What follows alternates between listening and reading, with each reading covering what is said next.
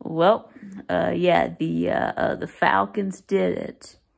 Uh, yet we finally got a win um, over the uh, egomaniac known as Tom Brady. You know, you know what y'all are saying, but he didn't.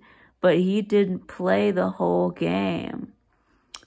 Um, yeah, I know that he, that he left in the middle of the second quarter, but I mean, it still counts because he started this game. So, so yes, it still counts as a win um, against Brady. I know what y'all are saying that you know, you you, you know, you, you know, if Brady had played the whole game, y'all wouldn't have won. Well, I mean, uh, well, I mean, um, you you really um don't know that, so I mean yes, and then uh, yes, and yes, and this is really um, embarrassing. But um, but um, after the uh, uh, the game, I mean, he just ran straight to the locker room. Uh, wow, um, what a pussy! Yeah, doesn't know how to take an L.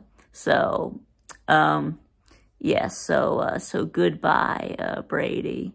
And I'm glad that you won't be that that you won't be uh, with the Bucks next year. So now the Tampa Bay um, Buccaneers are going to go back to the to the Tampa Bay uh, Buccaneers uh, once again. Yeah, it's um it's over for y'all. So, um, but anyway, and the defense played played really good in the second half. Yeah, you, yeah, getting a uh, getting a shutout. Yeah, the defense was lights out in the second half.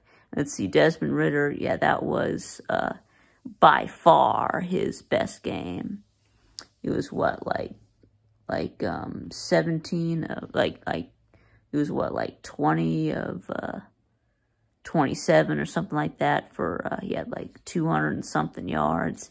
Yeah, and two touchdowns. There we go. He finally uh, gets gets a touchdown pass. So, uh, anyway, so the Falcons do get the win, 30 to 17.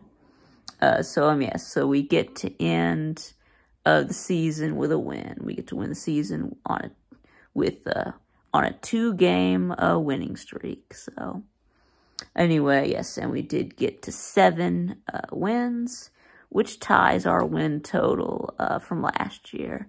And really, you know, for the last five years, um, we've won seven games. So there you go. Now, hopefully next year we can we can have a winning record and we can get to the playoffs. Maybe we can flip this to ten and seven next year. Hopefully, so. Uh, but anyway, so um, thanks for watching, and I'll see y'all again next time.